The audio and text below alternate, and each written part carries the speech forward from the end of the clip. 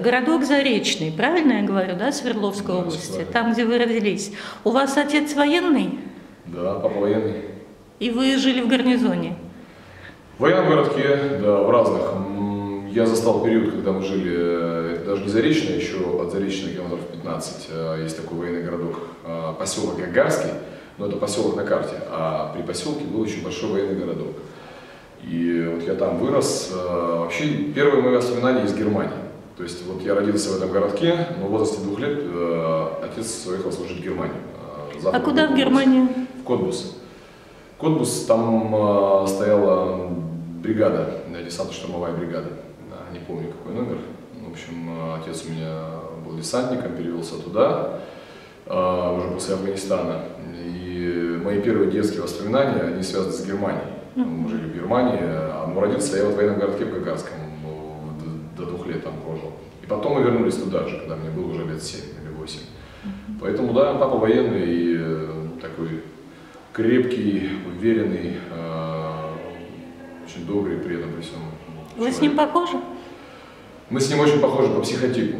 Э, Внешне, по росту, по фигуре. э, Мама говорит, иногда ловлю себя на мысли, когда я руки складываю, как, вот, как отец делает или как дед. Я очень много схватил именно от отцовской породы в плане вот фигуры, поведения, психотипа. Э, Отец у меня тоже очень эмоциональный, взрывной, при этом очень добрый. э, Ну, взрывной как бы по, по ситуации, по какому-нибудь там поводу.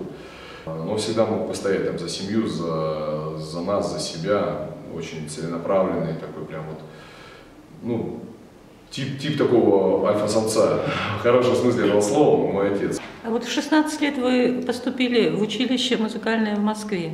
Да. Это вы один туда приехали или уже семья жила в Москве? А, Нет, у меня семья до сих пор не живет в Москве. У меня все живут, э, основная часть на Урале. А, Мама живет на Урале, отец. э, Мы привезли бабушку, мамину маму э, на Урал. Она жила в, западном, э, в северо-западном Казахстане. Ну, она уже старенькая, она сейчас с нами живет. А Юля, моя старшая сестра, она уехала лет 9 назад отдыхать в Анапу и сказала, я остаюсь там жить. Она сказала, она так же, как и я, сказала, я не хочу больше на Урал, не хочу перепады погоды, хочу тепло. И вот сейчас периодически шлет фотографии, как у нее вид из окна видно море, и зовет, приезжай в гости. Вот, поэтому у меня все на Урале живут. И вы один в 16 лет поехали? Нет, нет, в 16 лет, э, ну, у меня со мной поехала целая бригада. Объясню почему. Во-первых, негде было особо остановиться. Э, Мы позвонили, совпало много вещей. Я поехал поступать, и э, мама созвонилась с подругой, с нашей бывшей соседкой еще вот с военного городка, тетя Алла, я помню. Она вот переехала в Москву как раз, э, в район Митина.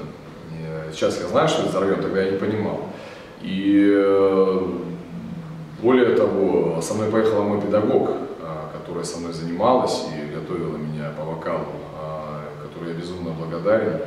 Людмила Ивановна Плотникова, она сейчас профессор э, в Екатеринбургском театральном институте на отделении музыкального театра. А, Людмила Ивановна, вам большой привет, вас очень люблю, помню. Буду на Урале сейчас, обязательно к вам заеду. А, Поехала мама, поехала мой педагог, мы поселились вот у нашей знакомой мамы. У мамы был повод с ним пообщаться тоже, они давно не виделись, а они были и сейчас большие подруги. А я ездил вот, э, тем более окраина Москвы, мы ездили каждый день э, из Митина до Планера на метро, затем 40 минут до Пушкинской, ходили пешком до училища при консерватории. Так что меня сопровождали, сопровождали. Но потом все, потом я, когда поступил, мы вернулись на Урал, и уже осенью я э, приехал на учебу один в общежитие. И вот с 16 лет я в общежитии. И консерватория в общежитии. Тоже, да. А сейчас уже москвич? Да ну какой я москвич? Я скорее житель, наверное, он житель, житель мегаполиса под названием Москва. Нет, не москвич. Я люблю очень Москву. Я очень люблю Москву, я по ней скучаю, я ей во многом благодарен. Э, Но вот уже сейчас наступает такой период, когда я стал понимать, что жалко времени много находиться в Москве, потому что очень много времени уходит на движение, на пробки. Если тебе там 18 лет, и тебя это захватывает, ты сегодня общаешься, там, не знаю, с пацанами в общежитии, завтра ты с какими-то профессорами консерватории, потом вдруг какое-то знакомство тебя выводит в круг художников или больших музыкантов, оперных певцов, танцоров, балетных, у тебя дух захватывает от того, что у тебя такой перепад э, людей э, и людей очень сильных, интересных, э, и возможностей разных себя проявить и общаться, и тебе это все интересно, и ты не обращаешь внимания там на дороге, на все. То есть сейчас наступает период, когда очень много времени нужно тратить на себя, на поддержание своего профессионального уровня, своего развития, и очень много времени съедается дорогой, пробками и количеством концертов. Поэтому я прихожу к тому, что ну, либо в Подмосковье где-то жить. Я сейчас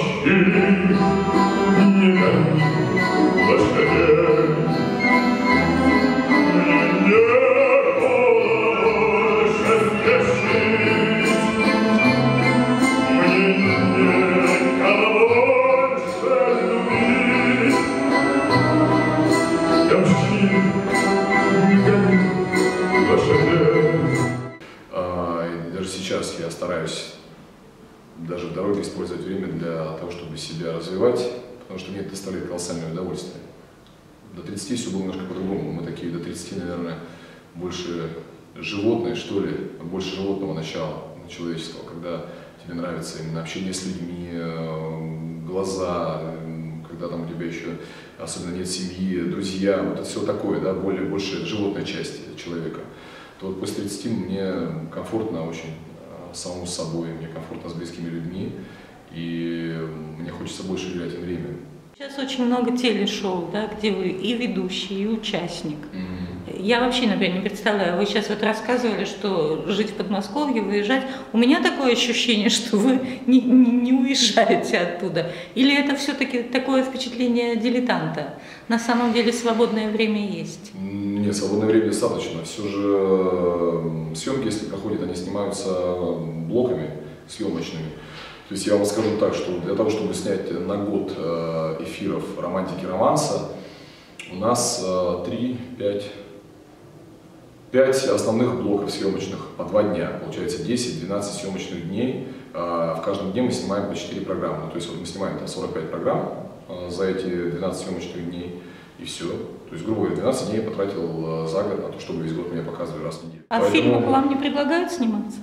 Нет, у меня было какое-то предложение на заре, на заре, э, на заре э, медийности, только начиналось после проекта «Голос», но как-то что-то там не пошло, не срослось и ушло, пока нет. Но мне, мне это было бы интересно, мне это То было есть... бы интересно.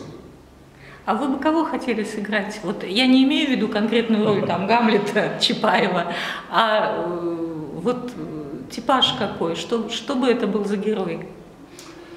Я вам скажу, наверное, что-то что-то нереализованное из э, детства и юности. То есть мне часто дают что-то, вот, приписывают мне какую-то импозантность, может быть, э, интеллигентность. Я, наверное, во мне это тоже есть. И, конечно, на публике или в рамках концерта э, классического оно само по себе включается, потому что ты идешь петь, например, Рахманинова, ты идешь петь русские романсы, ты каком-то другом настрое. Ну да, впечатление. Я достаточно такой хули хулиганистый. Я был и сейчас им остаюсь. Все, кто меня знают, я никогда не был правильным.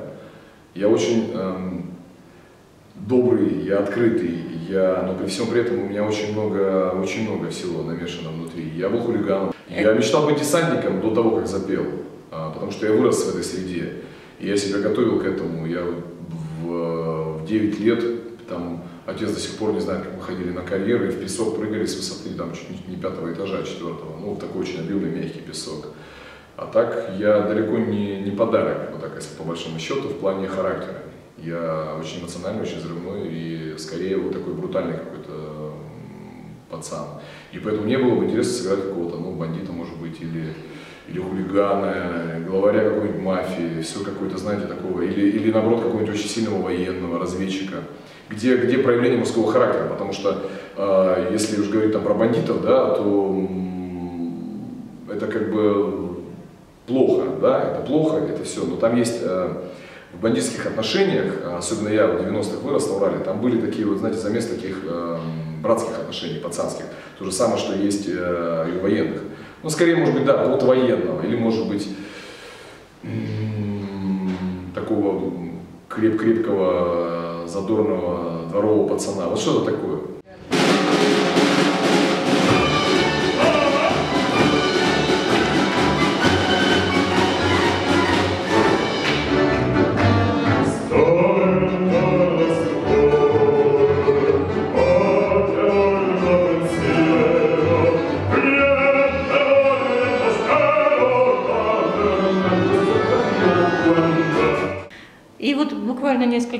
Все-таки о музыке. Да, давайте поговорим о музыке.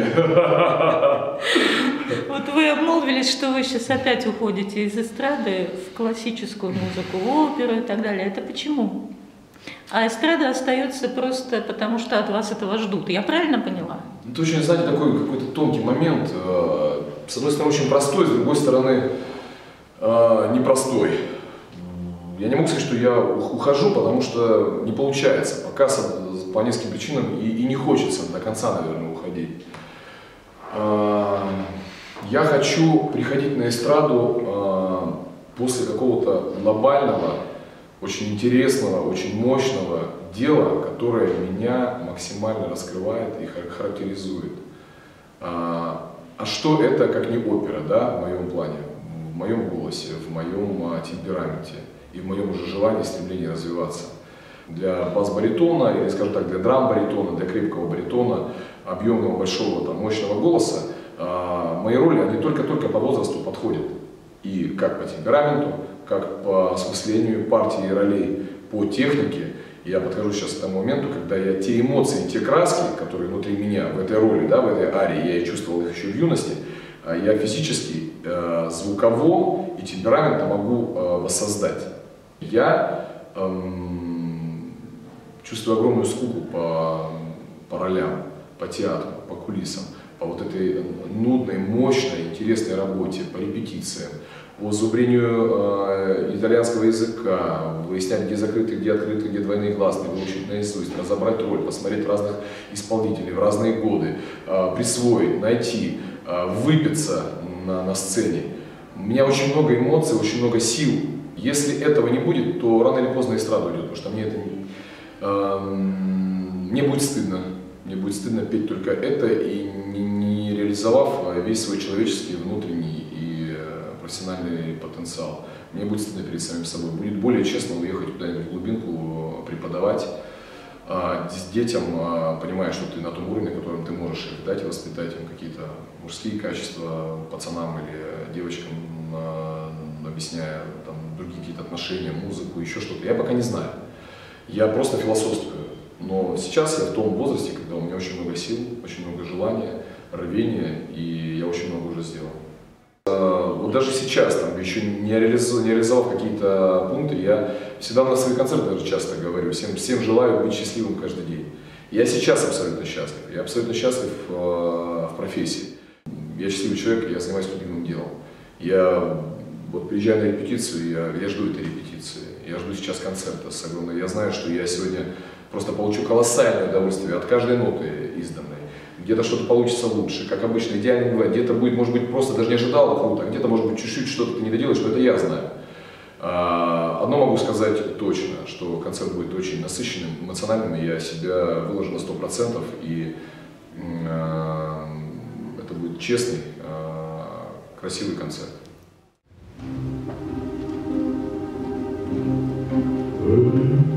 Oh.